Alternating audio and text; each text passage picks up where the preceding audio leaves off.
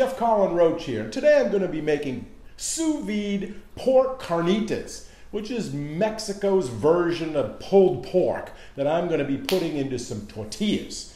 Now, traditionally, this is made um, by cubing up the pork, covering it in lard, and simmering it in a low oven for a long time. So it gets tender and it gets crisp on the outside. And the home cook, we would just put it into a baking dish in cubes. Uh, we would put our some fat on it. Again, slow cook it. But today I'm going to be using sous vide. It's going to come out just as delicious and it's going to be easy because I don't have to have the oven on all day. I don't have to watch it. Really no risk of it overcooking. And it's still going to come out just as tender, just as delicious. As you can see behind me, I have my ANOVA going, and I'm going to be putting our pork into that in just a minute and cooking it uh, 24 hours or so, and then we're going to be making it into our tortillas. So this is going to be wonderful. So let's get started. All right, so now we're going to make some sous vide pork carnitas. And as you can see here, I'm going to have all my ingredients on the table. I also have a recipe, which I'm going to post at the end of this video in case you want to make it yourself. So I can refer to that. So what we're going to start out with is we need a, a pork uh, shoulder, a Boston butt it's called. You see this different times. You want about, for this recipe, about four pounds boneless uh, pork shoulder. This one happens to have a bone in it, so I'm going to take the bone out. Either way, it's, it's easy to do. And this is really cheap. Watch for them when they're on sale. This one's about six and a half pounds with the bone in it, so it should give me about four when I'm done and it costs like a dollar sixty, dollar seventy a pound. So this whole thing is like ten or eleven dollars. So it's great, and you'll see at the end we're going to have lots of it. And for this recipe, as I mentioned, you're looking for like four pounds, five pounds of boneless to put in there. You could easily cut this recipe in half if you wanted to, but why? You're already going through the motions, and this freezes really well. So you could divide it up, freeze it, pull it out when you want it, and just go ahead and make tacos, make nachos, make your tortillas, whatever you want with this pork when it's done. So going through the motions, cooking it for that 24 hours to 48 hours, might as well make the big batch. Okay, so I also have, uh, as it says in here, some onion. I've got about one onion, medium to small onion that I'm going to put into the marinade. I also have garlic, four to six cloves or so. I've already chopped it up. You know, but if you want more, just add more in. You know, if you like any of these ingredients, switch it up. I'm going to give you some options, but this is the one that I'm using. So I've got you know, again, four or five cloves in here, kind of rough chop, doesn't really matter. It's going to be in the marinade. So I also have, um, I'm going to put in dried oregano. I'm going to put in some cumin. You could also put in, you know, so I got some smoked uh, chipotle here ground. I also have some chili powder. Some recipes you'll see have cinnamon sticks in it, which is fine if you want. I'm also going to put lime juice in it, and actually the limes. But you'll see some recipes have oranges in it, which I love to do. I'll cut up some oranges and throw that in, which adds another, you know, citrus flavor in the blend. So feel free to experiment. I'm also going to throw in a couple of bay leaves, all right, into this marinade. So when we do this, and that's going to put it all together. And lastly, I've got a bunch of salt. Salt's very important, helps the pork hold in the moisture and also gives flavor. It's a seasoning while it's cooking. So we're going to put some salt in there. Alrighty, so let's start with the pork first. Okay, so like mentioned, we have this Boston butt or this pork shoulder here, it has the bone in it. We're gonna cube it up anyway into like two inch by two inch pieces. It'll help cook better, and it also the flavors will blend. So we're gonna cut it up. So you don't have to be really fancy getting those bones out of it, just cut it, but try to get as much meat, obviously, uh, off the bones as you can. Um, and then you're gonna end up with, like I said, about four pounds left over. So you can see the bone kind of runs along here, it comes along the backbone. So take your knife, I've got a boning knife. I'm just going to cut down along the bone here.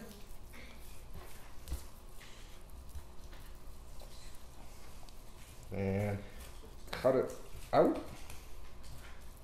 And then come in around this bone on the back side. Pull it up and over.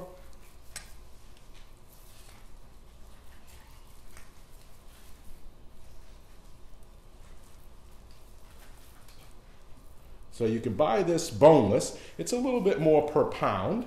Uh, but if you don't want to uh, be cutting this bone out, you find it too difficult, or you know have no use for it, then uh, certainly buy it boneless. It'll be easier for you to do, but it's really not hard to get this bone out. And if you can find one with a smaller bone in it, you know, it ends up being a little bit cheaper for you.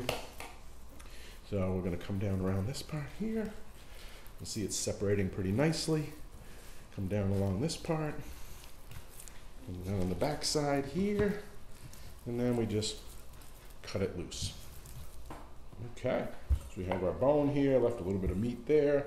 Not too much, but we got the bone pretty good. And there's a little bit of fat down in here, which we don't really need. So put that off to the side. So now we have it opened up. I can just follow the seam here. And cut this. Again, we want to make it into, you know, two inch chunks or so. So don't have to be very fancy with it because all of this uh, connective tissue, it's actually collagen, is what's going to break down with slow, moist heat. That'll all turn into gelatin. And it'll get very tender and it's going to actually blend into the meat and become very tender. So we don't really have to worry about like we were making a, a stew or something. We want to seam all that out. We just leave it. I'm going to cut this one one more time. Okay, got some smaller pieces here. Good. And one more on this side. And this is good because this is about the right size where I'm going to be able to coat it. I guess that's bigger than two, three, four inches. So chunk it up and all of this flavor is going to get blended in and absorbed while it's cooking. Now, some recipes you'll see that says to marinate them or put a dry rub on them, let them sit overnight. You can certainly do this, but because this is going to cook for, you know, 24 hours, 36 hours, it's going to end up absorbing all those flavors at the same time. Okay, so we have our meat done. Now let's make our marinade. Okay, so that we have our meat already uh, chopped up, cubed up, two inches or so, roughly. Now we're going to just kind of put them, not really a marinade, but the ingredients together. We could just throw it all into our sous vide bag, but it may not distribute evenly. So I like to pre-mix it. So I just have a bowl here. We have our garlic, like I said, four to six cloves in there. If you like more or less, adjust. I got a small, medium onion, rough chop. Again, put that into your bowl. Um, then I'm going to put in some bay leaves.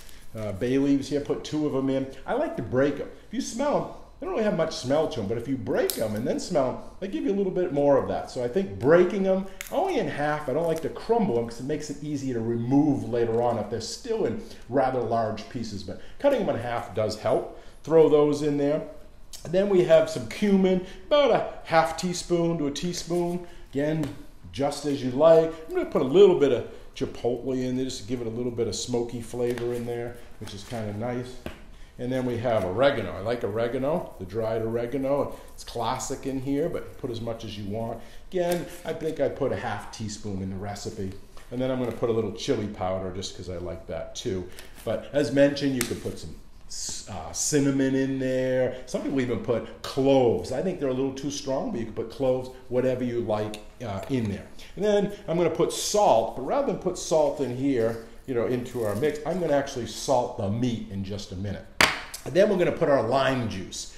Um, you'll notice I don't have any fat. And traditionally, it's cooked with lard or fat in the oven, but we don't need it because since it's going to be cooked in that bag, its own fat from the meat's going to break down, and that's going to provide that, that moisture and then turn into that gelatin and give it that richness, that delicious flavor that we're looking for. So here's a trick with some limes. Um, you know, lime's pretty hard. So if you're going to try to juice that, it's going to be, you know, hard to get all of that juice out. So what we're going to do is we're going to roll it. I've already rolled these, you know, you just put it on the board and you roll it with your hand so it gets soft inside. All those um, little vestibules inside there in those segments, they're going to be loose. So you can see, I don't know if you can catch that on the camera, but this is pretty squishy, right? As opposed to this one, which I haven't done, is very hard. So I'm going to get a lot more juice by just rolling it first. And I've rolled all of these. Look at that one. It's like a marshmallow. It's so soft. Going to get a lot more juice than this one. But in just a minute, this will be the same. Again, using the heel, rolling it on your board, moving it all different sides. It's going to break down all those sections inside the lime, which is going to allow the juice to come out. So then we just have to cut them in half or, or quarters would be good, you know, either way. and we're going to squeeze them in here. You can do it by hand, but there's also a lot of, you know, juicing tools out there that you could utilize, which I'll show you in just a minute here. Now I'm not going to throw these away. I'm actually going to put these into the bag while it cooks, which is going to provide a lot more flavor. So here's that juicer. Put it in like that. Give it a squeeze, and then it pours it right out. And you get a lot more juice out of it that way. Um, you don't really have to be as precision in this because even the juice that's in here is not going to be wasted. It's going to be put into the sous vide bag. So I'm not too worried about it. Okay? So we're going to put these other limes through here and then we're going to be finishing our marinade. Okay, so now we've got our flavor marinade made with our limes and, and our garlic and onions and our seasonings, and it's all mixed in. So now we're just going to combine it with the meat. We're going to put it into our sous vide bags. Now, sometimes if I'm cooking at a low temperature for short amounts of time, like a chicken breast for an hour or a steak for an hour or two, you know, you could use a typical, you know, gallon storage bag. That's fine. But for any long cooks, you know, this is going to be 24 hours, you can go up to 48 hours. You're going to want something a little bit more durable. So I like to use sous vide bags. And this brand I found, Sous Vide Supreme, is pretty good. Again, uh, same thing, but you can tell they're much thicker. You know, they're a little bit bigger. And they, they come in gallon, they come in quart. I buy both depending on what I'm doing for a cooking. And this one, um, I get them, I think, online. You can just Google them and find them. They have them in some stores too. And it's not, it's pretty reasonable. So uh, I'm going to use that for today's bag. Now another tip is before you fill it with anything, it's going to get all kind of messed up on the outside and then it goes into your water and it gets sucked up into your immersion circulator and stuff. So one trick is just like you would with a pastry bag before filling it, just to fold down the edges and open it up. So you can see I have the edges over here. So then if I do touch this part with the meat or anything, I'm going to wrap it up and it's not going to contaminate the outside. The worst case, if you did happen to do that, just give it a rinse before you put it into your immersion circulator. Okay, so I have my bag ready. I've got our mix. We've got our meat here. But as I mentioned, I didn't put any salt in the marinade. I want to actually salt the meat because I think it adds a lot to the flavor and it also adds a lot to um, keeping the moisture inside the meat as it cooks. So Salt is a really good seasoning. So I'm just going to spread it out here. I've got my salt mill here. Again, you don't want to use kosher salt, you know, something with a bigger grind on it. And I'm just going to liberally give it a good salting on the outside of it here. And then that's good. I just kind of put it on one side because I'm going to use my hand and kind of mix it all together here in just a second anyway. Okay. So I have my fingers here, it's touching really the inside of the bag, secure the bag and just load it up. So I'll put about halfway, and then I'm gonna put some of my mixture in here. So you can see I've got the lime still in quarters, I've got the onions, so I'll put some more of that in, then some more meat. It's all been salted, and we just keep doing that in layers, trying to get a nice mixture in there. Okay, so in just a minute, we're going to close that up and put it into our sous vide cooker. Okay, so everything's in our bag. We just need to straighten it up here, and we're going to put it into our sous vide cooker, right, our water bath. So I'm going to try to flatten a little bit and get some of this air out first. Um, so I'm going to close it a little bit, leaving a little gap there, and then I'm going to squeeze out a lot of this air. I'm going to try to get it into a single layer here. So you can see it has the limes and the garlic, and the onions and everything in here. So gotten a lot of this air out. And I'm going to use the water immersion method. So I'm going to sink the bag in, let the water force out the air, and then I'm going to seal the bag. And I'll just put it over the edge and, and clip it. But if you have a you know vacuum sealer, you could certainly do that, which would suck all the air out and then seal it. Whatever way works for you. For you. Okay, we have this, sealed it, got it kind of all distributed in there. Let's get it into water. And okay, I've got the bag here. I've got most of the air out of it. We're going to put it into our immersion circulator. Uh, I have a uh, Coleman cooler here that I made myself for a water bath that helps insulate it. And I have my Anova cooker. You could have any brand that you want. And I'm going to cook it at 165. Uh, about 24 hours, 30 hours, somewhere in that range. And then we're going to look at the product at the end and I'll show it to you. Now, temperatures, it's really up to you. There's bunch of school of thought on that, and it's really going to depend what texture do you want the meat. You know, some people are going to cook it at 145. Um, that's a lower temp. It's going to take longer. You need like 36 hours for that temperature. And the texture is going to be a little bit more like um, a steak. It's not going to pull apart as much. It's going to be chunky, which is great. Maybe you want to put it on skewers or, or grill it on as like a steak form. So that's the lower temperature. 165 is right in the middle. That's the one I prefer for this dish because it's going to pull apart. It's going to still be pretty moist. Now, it's going to take 24, 30 hours for it to cook at this temperature. Some people like to cook it at 175, 185. Now, that time is going to tenderize it a lot quicker, so you only need like 8 hours to 12 hours to cook it. the problem with that is it's going to be a little bit more stringy, a little bit more uh, mushy. So you're going to have to decide how much time you have and uh, what texture do you want the meat to turn out at. As I mentioned, I'm doing it at 165. So let's open up our cooler here. I just open the top and twist it. And then I'm going to put the bag in, drop it in there. I've got it sealed all sides except for just this one little corner over here. And I'm going to just drop it in and push it down into the bag and let the natural process take place to make that air come out. Okay, and I'm sealing it up. Ooh, it's a little hot. Put your fingers in there. Use tongs if you need to. And so um, if we can, I'll bring the camera over here a little closer and you can see it hanging, though I'm going to leave this on the edge anyway. Um, come on over and can, can you move the camera right over here and they can show them this sitting in the bottom of that. Okay. Get that in there. So you can see the water is, you know, good two, three inches over it.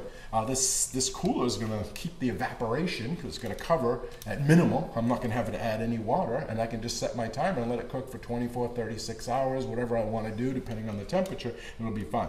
But just so this seal doesn't go under, I'm going to hold that over the edge and I'm going to shut the the roof on it, but it's, it's definitely submerged and it's definitely cooking. Okay, it's a new day for our sous vide pork carnitas today. We've been cooking this at 165 between 12 and 24 hours. So it's ready to go. Now I'm going to take it out of the bag. Now, if you're not ready to cook it, this is great to um, save. You take the bag out, it's got all the juice right in it, and if you're not going to use it right away, you could just plunge it into some ice water, let it cool down. Once cool, right in the bag, put it in your refrigerator. It's going to be good for a week to even longer, depending on how you're sealed the bag and the control of the bag. But you could also then, after it's cool, freeze it, save it for months, bring it out when you want, drop it back in, reheat it. So you can do this in advance. But if you are going to use it right away, what we got to do is we got to drain it. All this juice in here, we're going to drain it into a bowl, and then we're gonna pick out the solids. The solids I'm gonna put on a rimmed baking sheet. I'm gonna put under the broiler, char it, get it that crisp. And then we're gonna put that inside our tortilla or however you wanna use those to finish the dish. Okay, so let's do that right now. Okay, we've taken our meat, uh, carnitas, out of the uh, sous vide bag. We picked them out. I shredded them up a little bit with a fork, and then I put them on a rimmed baking sheet here and threw them under the broiler to crisp them up. You can get them as dark as you want or as light. They're good either way, but I like to have a little char on them. If you don't want to put it under the broiler, you can also do it in like a cast iron pan. Really get that good heat on it. Okay, so now we're ready to build. So I have my a tortilla shell here. This is flour. You can use flour or corn, any size you want. And then your toppings, anything. Corn, cheese, lettuce, whatever you want to put in yours is up to you. I just have some different things here. So we're going to put some of our beautiful sous vide pork shoulder in here. Make a nice big one for myself. And then salsa, you could use tomatillo salsa, charred. I'm gonna use some red, like that. Put that in to give it flavor. And then I've got some sour cream here, which is good. I've thinned it down with a little water so it's easily spreadable, so you can almost pour it on there and get a good distribution. I like tomatoes, so I got some nice little cherry tomatoes. Some olives are good in here. All right, cheese. I like cheese. You don't have to put this. Again, refried beans, whatever you'd like. Put some of that in there. And then can't forget the lime, fresh lime. That really adds to it you know. And then a lot of times I'll put cilantro in here or some parsley. You put that in there if you'd like. Got another piece here. Got to put more lime. And then all you have to do is roll it up and eat it. That's the best part. So fold this end in a little bit. I'm going to turn this side on here, fold it over, and that's it. Then you just got to eat. And you can again make this, save it, use it for multiple days. Mm, so good. Thanks for watching. I hope you make this at home. I hope to see you on future videos. Thanks again. Bye now.